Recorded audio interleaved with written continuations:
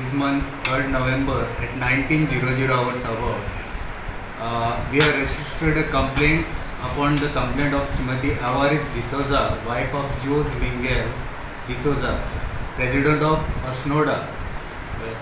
आणि कंप्लेंट दिली की when she was uh, returning to her house from Asnoda area, somebody came with Aprilia scooter and snatched away her gold chain weighing around rupees 12 grams.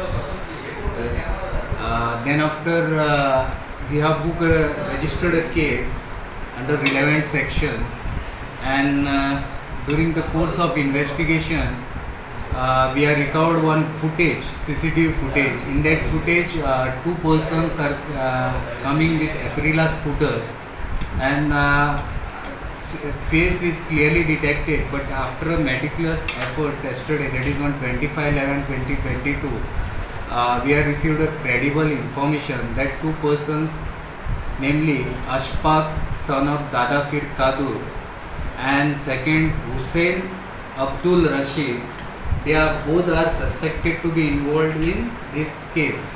Accordingly our staff consisting PSI Kunal PSI Mandar and staff with the assistance of Vasco police stations we have located both the accused and this morning we have brought them to the police station and shown them in arrest in said case now the accused is already produced before uh, judi- uh, for uh, judicial uh, police custody remand and we have obtained three days police custody remand. Further investigation is going on with uh, PSI Kunal.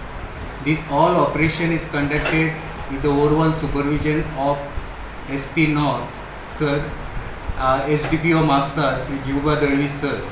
And now the investigation is going.